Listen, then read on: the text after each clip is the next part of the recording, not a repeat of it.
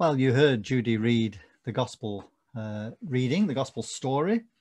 Uh, and in that reading, uh, you will have learned that some Greeks, Greeks who travel to Jerusalem, uh, they speak to Philip, the disciple, and express their desire to see Jesus. Philip speaks to his fellow disciple, Andrew, and they both go to tell Jesus. Jesus then speaks about his death and resurrection and finishes with an assurance that he will draw all people to himself. We've reached an important juncture in the gospel.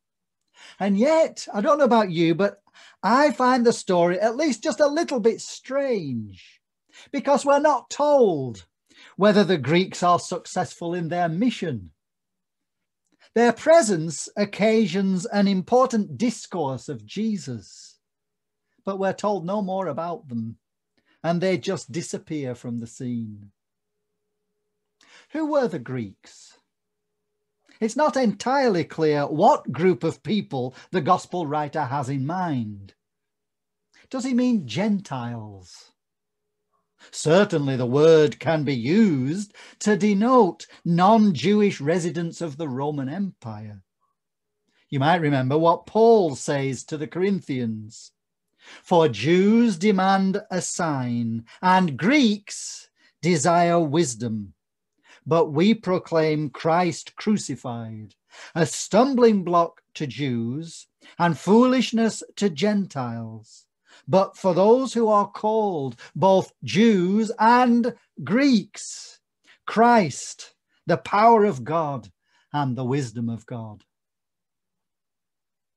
And the arrival of the Greeks is immediately preceded by the remark of, uh, excuse me, uh, it comes straight after, yeah, the remark of certain Pharisees who say, Look about Jesus, look, the world has gone after him. So we have a statement about the world going after Jesus, then a story about Greeks who come to Jesus, and then the words of Jesus I, when I am lifted up from the earth, will draw all people to myself. So perhaps the Greeks are Gentiles and Jesus is saying that after his crucifixion, all people, Jews and Greeks, all people, those in Jerusalem and Judea and beyond throughout the whole empire, will be welcomed into the kingdom of God. Now, even so, uh, when Greeks are mentioned earlier in John's gospel, the word seems to denote Greek speaking Jews who've been spread abroad in the empire. Certainly, these Greeks, the text tells us, have come to Jerusalem to worship at the festival. So perhaps they were Jews.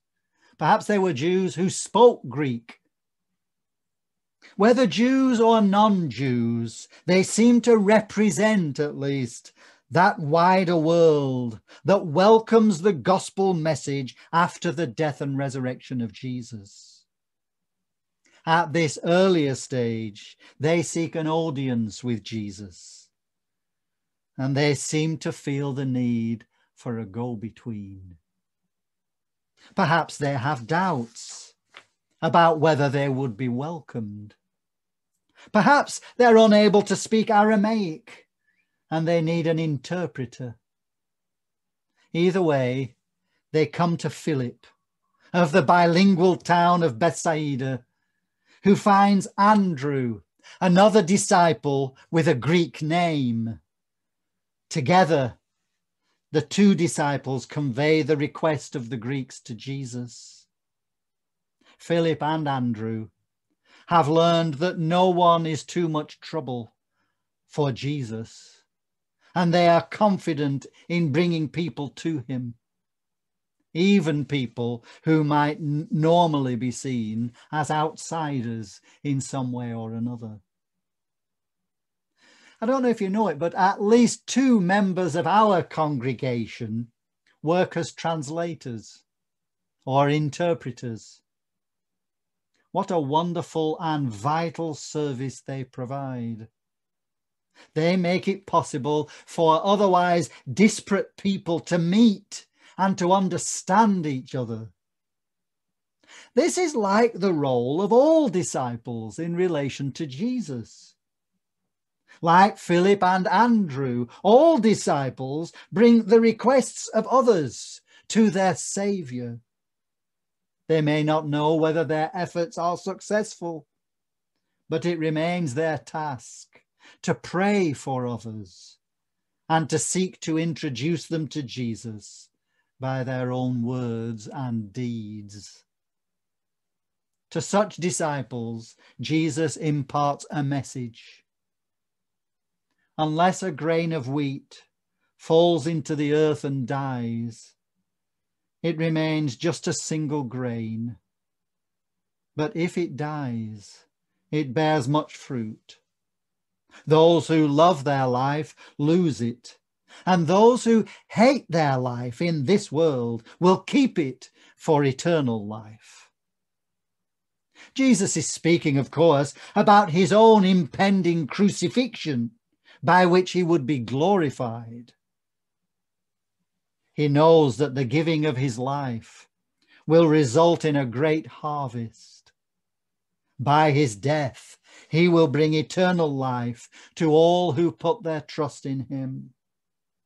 Yet Jesus speaks not only of the giving of his own life, but also about the way of the cross for all disciples.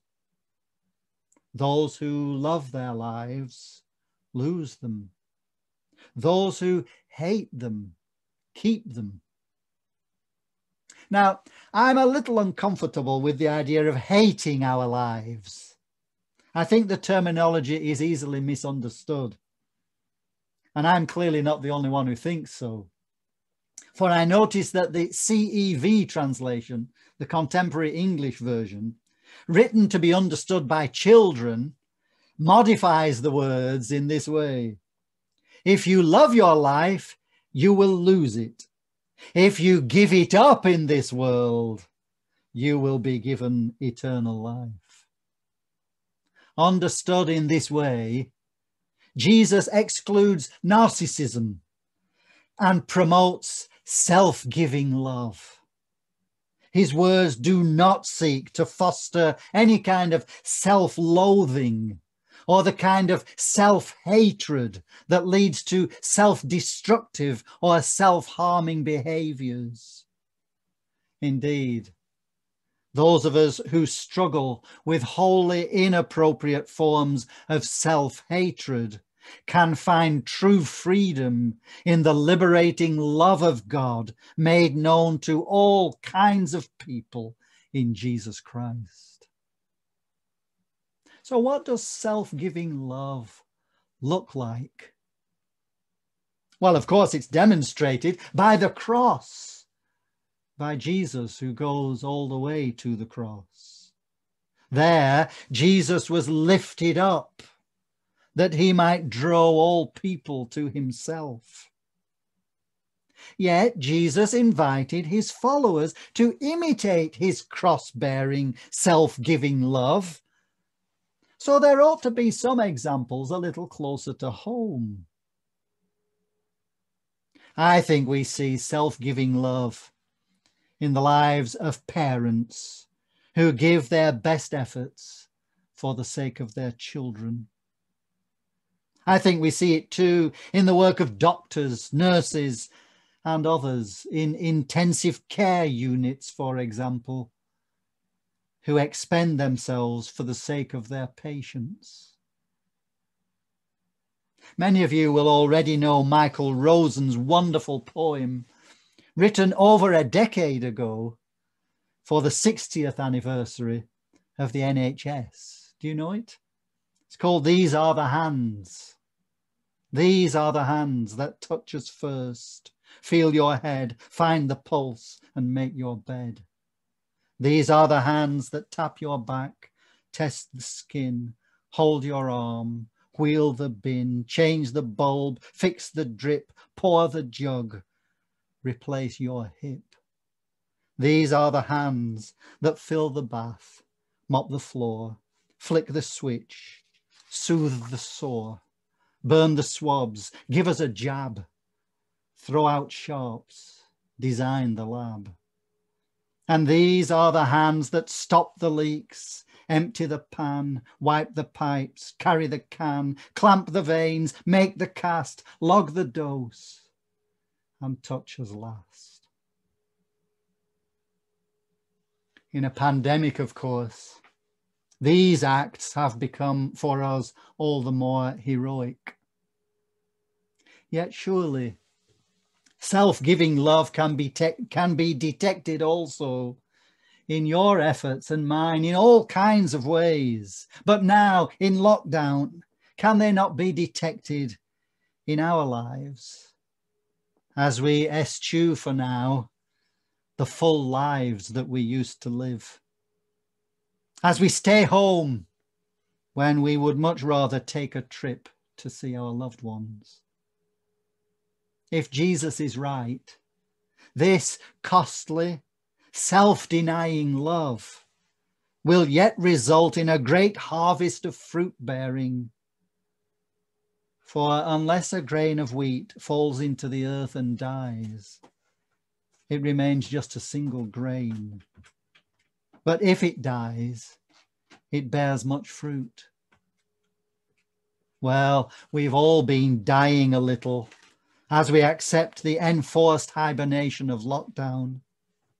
In other ways, too, we followers of Jesus are learning to give of ourselves as Jesus did, that we might bear fruit for the kingdom of God. Unless a grain of wheat falls into the earth and dies, it remains just a single grain. But if it dies, it bears much fruit. First, death, but after death, resurrection. It was so for Jesus, and it might be so for us by our self giving love, our little dying acts of care for others that might yet result in a harvest, a harvest of fruit bearing we come to break bread together. And as we come to break bread, we sing, I come with joy, a child of God, forgiven, loved, and free, the life of Jesus to recall, in love laid down for me.